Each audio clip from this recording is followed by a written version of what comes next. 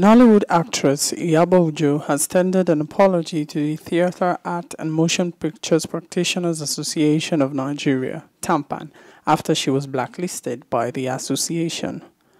The 43-year-old apologized in an Instagram post on Thursday, July 1st, and also shared a video.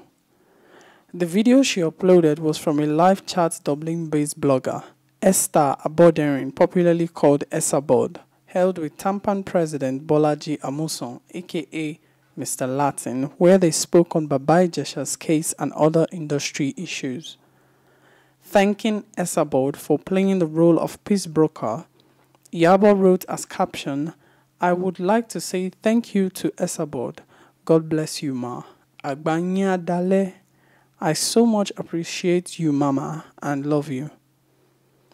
To an able and ever humble president of Tampan, Mr. Latin, thank you very much. Our big daddies, Adebayo Salami, Prince Jide Kosoko, and Yinka Quadri, on behalf of Nkechi Blessing Sunday, my darling Aburo, and my humble self, we apologize to you, SARS. We are sorry for getting you upset. You are our elders and our leaders. We respect you and we are humbled before you. We will forever appreciate you and honor you.